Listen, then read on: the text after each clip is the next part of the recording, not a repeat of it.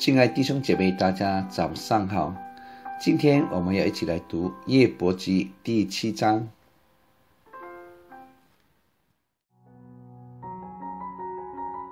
约伯记第七章：人在世上岂无征战吗？他的日子不像故宫人的日子吗？像奴仆切抹黑影，像故宫人盼望公家。我也照样经过困苦的日月，夜间的疲乏为我而定。我躺卧的时候便说：“我何时起来，黑夜就过去呢？我尽是反来覆去，直到天亮。我的肉体以虫子和尘土为衣，我的皮肤才收了口，又重新破裂。我的日子比梭更快。”都消耗在无指望之中。求你想念，我的生命不过是一口气，我的眼睛必不再见福乐。观看我的人，他的眼必不再见我；你的眼目要看我，我却不在了。云彩消散而过，照样人下阴间也不再上来，他不再回自己的家，故土也不再认识他。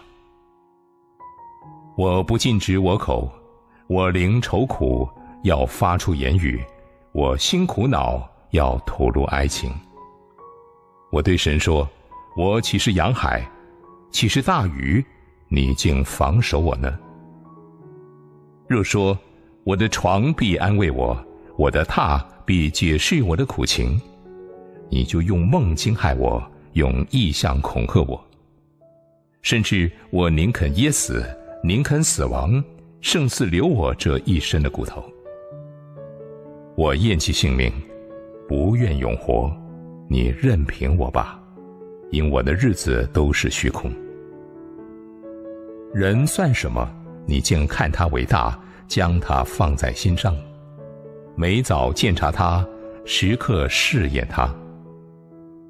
你到何时才转眼不看我？才任凭我咽下唾沫呢？监察人的主啊，我若有罪，与你何妨？为何以我当你的箭靶子，使我厌弃自己的性命？为何不赦免我的过犯，除掉我的罪孽？我现今要躺卧在尘土中，你要殷勤的寻找我，我却不在了。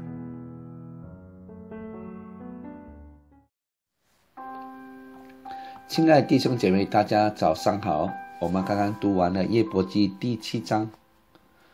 第七章的内容，我们看到，既然叶伯追自己的好朋友都不能够完全的了解他，也无法用公平正义的来对待他，指责他，这是指责他一定是有罪的，所以叶伯就转移对象了，他就直接向上帝来倾诉。那么，在看到这段经文里面，我觉得叶伯好像是在绝望当中紧紧的抓住了上帝，他把上帝当成最重要也最要好的朋友般，他不断的倾诉他心中的这个痛苦和哀怨，他在饱受肉体和心灵残酷折磨的当中，似乎看不到生命的亮光。他觉得他的一生就像在征战一样，活得很累、很辛苦，像奴隶雇工一样，也没有自由选择的权利。他每天都必去做各种各样劳力以及劳动的工作，终日不得休息。所以奴仆呢，还有盼望夜间赶快来临，可以和好好的得到休息。但是故宫呢？就还有盼望年底可以领到薪水，但是叶伯自己觉得自己是更可怜的，更没有指望的。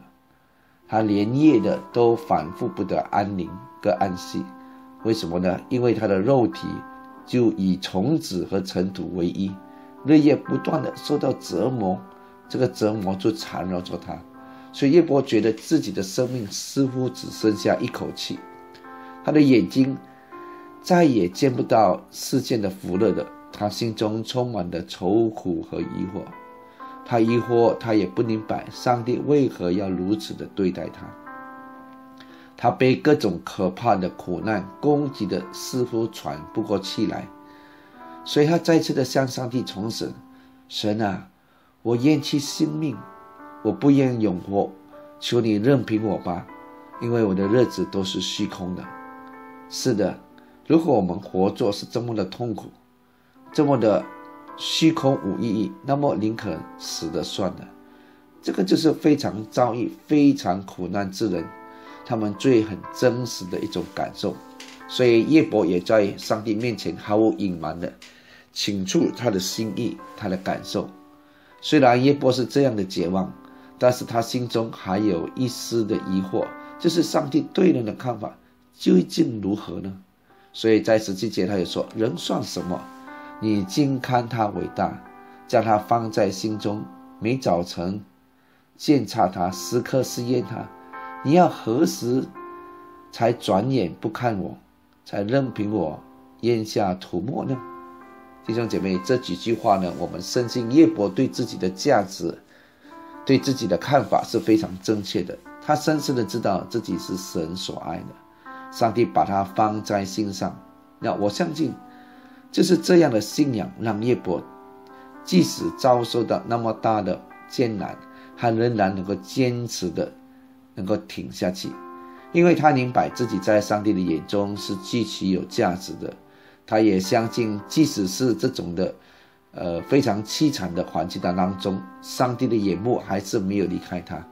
但是呢，他还是不明白的问题是：上帝为什么把他当成这个所谓的当剑靶子？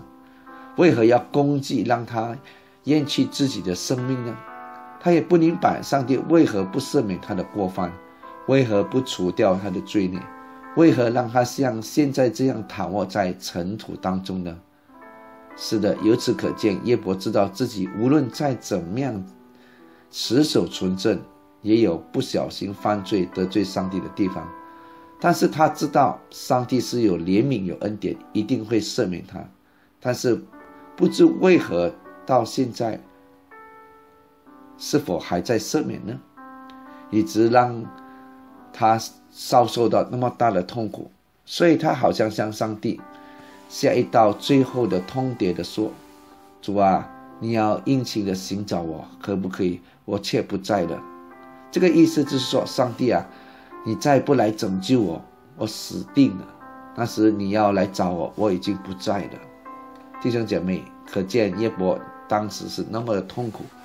耶伯很知道自己在上帝眼中是极其有价值，因此他在苦难当中虽然有埋怨，但是他却不离弃上帝，他仍然紧紧抓住上帝不放。弟兄姐妹，我觉得这样的信心真的是极大极美的。所以无论我们面对什么困难，最主要的就是只要我们知道我们的身份在神的面前，我们是他的儿女。既然我们是神的儿女。无论我们面对什么困难，神都会拯救我们到底，他也不会离弃我们。可能困难就是那一个短暂的时间，神会陪伴着我们，好不好？这时候我们一起来祷告，亲爱的主，我们来到你的面前，帮助我们认清楚我们在你面前的身份是什么。我们就是你所蒙慈爱宝贵的儿女。无论我们面对什么困难，我们知道你都在我们的身边。虽然有时候我们面对的是困难的时候，不知道为何而我们面对，但是我们必须肯定一件事情：主啊，我们在你眼中是你所宝贵的同仁，你一定会保护我们。只不过有时候可能你要让我们走过这些的试试验，这些的艰难，好叫我们在我们生命我们会更加的坚强。无论如何，主你帮助我们，遇到困难的时候，我们不会对你的爱产生任何的怀疑，以及来咒诅你、埋怨。让我们这个时候能够呢回复到你的面前来。主啊，如果我们真的有得罪的地方，我们祈求你赦免我们。而我们相信，当你赦免我们之后，你会再一次的恢复我们跟你之间的关系。主啊，我们要向你献上感恩。我们如此的祷告，是奉靠主耶稣基督的圣名祈求，阿门。